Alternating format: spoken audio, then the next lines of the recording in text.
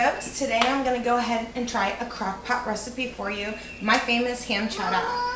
Um, we're going to go ahead and do diced, um, probably like if you have three big potatoes or if you want to do five or six small ones. And the sizes are going to be about this big. We're going to do ham, rustic size about this big. And I went ahead and did um, probably the same amount, like two cups worth. And then I'm going to dice up half of an onion. I'm going to go ahead and throw everything into the pot and let it simmer for a couple hours. I can see.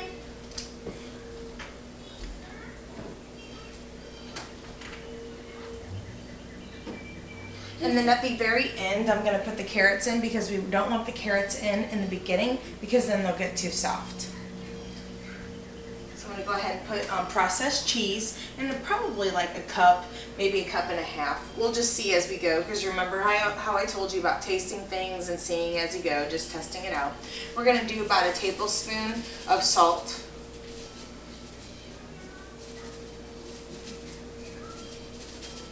I'm going to do a half a tablespoon of pepper.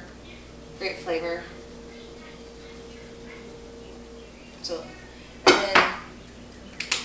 a couple teaspoons. If you want to do fresh garlic, usually I do, but I didn't have it today. So I'm just going to do about a teaspoon or two of garlic. And I'm going to let it sit for a couple, like an hour or so. Come back and start, and then we're going to check on it.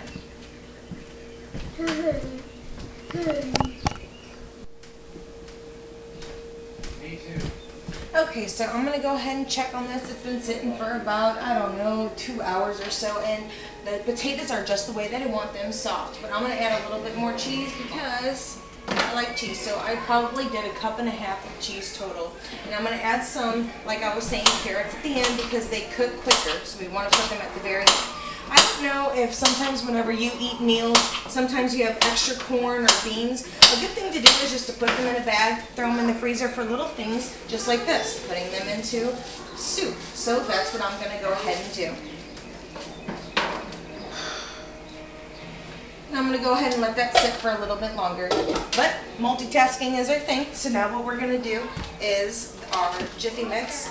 I kind of got this recipe from a buddy. This is uh, one of my friend Brandy's, Tom's, her husband, and he kind of makes a cream cheese the cornbread mixture, and it is amazing. So I'm gonna do cornbread. I did about three ounces of cream cheese or so. We're gonna do one egg, a third of a cup of milk, and you know, as I said before, if it's not thin enough, add a little bit more milk.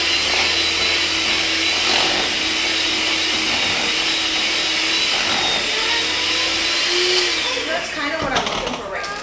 I'm going to go ahead and put a little bit of cheese in it. Mix it up, put it in my pan.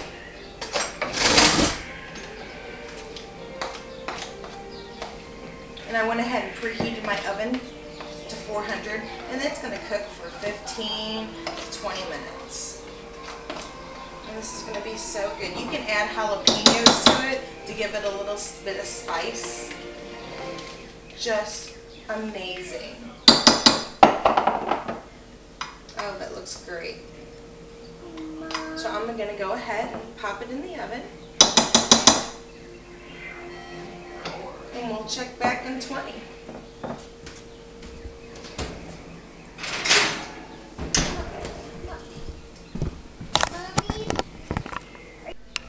Alright, I kind of want to show you the consistency of this soup. See how it's really runny? So what we're going to do, sometimes people make roux and it's just the butter and the flour and then you add the milk and all that. Well, I don't do that. I do it a little different of a way. First, I'm going to drain some of this water. I'm just going to take like a, a cup or so because it's a lot of water or a lot of juice. Let's get a big old full cup. Woo!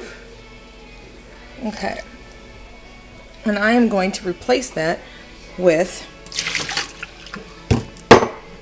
some flour and water. And so what I do is I put the water on high. I grab some of my flour, a fork, and I get like, I don't know, a tablespoon or two, two forkfuls. Add it to the water a little bit. Woo. Stir, stir, stir, stir, stir, stir, stir, stir, stir. I don't want that much. I definitely don't want a whole lot. I don't want it to be too runny. Let's get another fork full of flour. Make that three forkfuls of flour. And that's how I make my roux. I go ahead and I pour it in here. And it gets all thick and creamy because the potatoes are kind of breaking up because we left them pretty good bite size. So, and the cheese is going to thicken up because I put some extra cheese in there. So I did like a cup and a half, almost two cups probably of that processed cheese. We went ahead and waited to the end to put our corn and our carrots in because it doesn't take that long for them to cook. Our cornbread is going on. And I think I'm going to put a little bit of sugar on top of that because cornbread and sugar, ooh, girl, it's good. So I'm going to go ahead, cover this up. I'm going to put a little sugar on it. I'll see you back in just a bit. Okay, so our bread is done. Let's give the old coat test.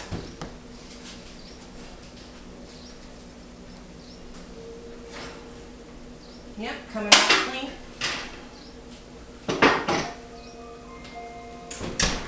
I'm gonna go ahead and scoop out some of our soup, plate it up.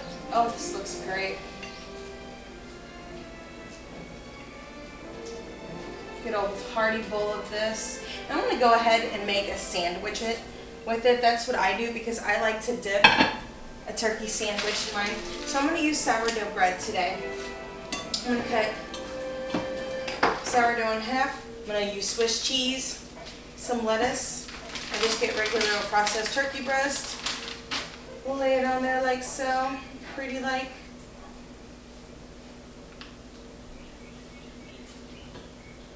Soup and sandwich. Just a soup and sandwich. And I'm gonna put a little piece of cornbread on the side. Oh, this cornbread is just great. You're gonna love it. It's sweet, it's creamy, it's cheesy, and you can't get wrong, wrong with any of those things.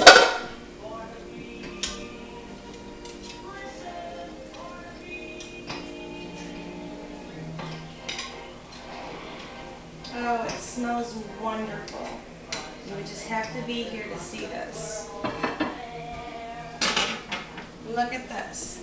It is just wonderful. So, these are my recipes to you.